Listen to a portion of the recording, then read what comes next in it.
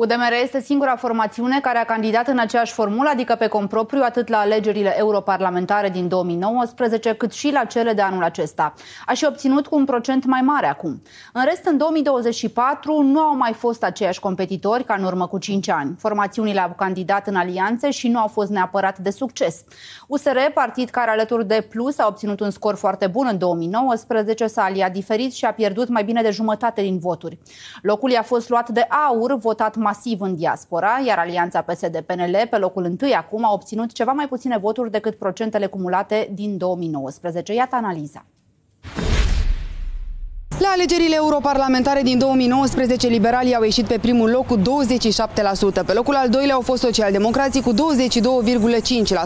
Acum, PSD și PNL, în alianță, nu au atins 50%, adică mai puțin decât rezultatul cumulat al celor două formațiuni din scrutinul europarlamentar anterior. Atunci, pentru că nu au câștigat PNL-ul, ci au pierdut PSD-ul. În 2019, marele competitor al PNL-ului nu era uh, PSD-ul, ci era USR-ul. USR-ul era cel care îi drena o bună parte din electoratul PNL-ului înspre o nouă perspectivă de dreapta. Alianța USR Plus a obținut un scor nesperat de bun la alegerile europarlamentare din 2019, primul astfel de test pentru cele două formațiuni. Acum însă, în 2024, USR a decis să se alieze cu PMP și Forța Dreptei, iar Alianța Dreapta Unită nu a fost votată de mai mult de 9% din români, un scor mult mai slab, care s-a lăsat cu demisii la vârful USR.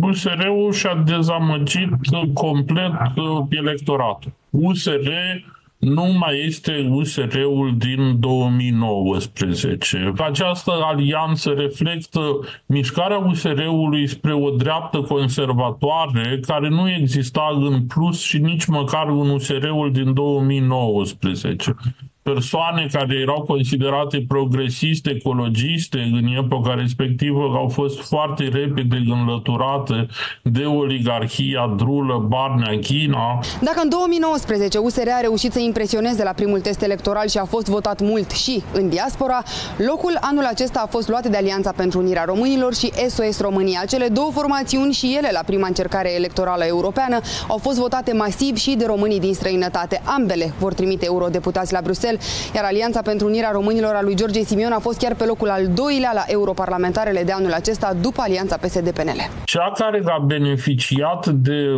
voturile din diasporă pe care se baza AUR a fost, iată, în mod paradoxal, mai degrabă doamna Șoșoacă. Sunt de obicei persoanele care au o existență precară, frustrări foarte multe, motiv pentru care votează de obicei radical. Un scor neobișnuit de bun în dreptul UDMR. Dacă la alegerile din 2019 UDMR a obținut 5,2%, acum trece de 6%. Mai mult, UDMR a fost votat și în zone în care nu prea sunt etnici maghiari, județe din Sud și din Moldova.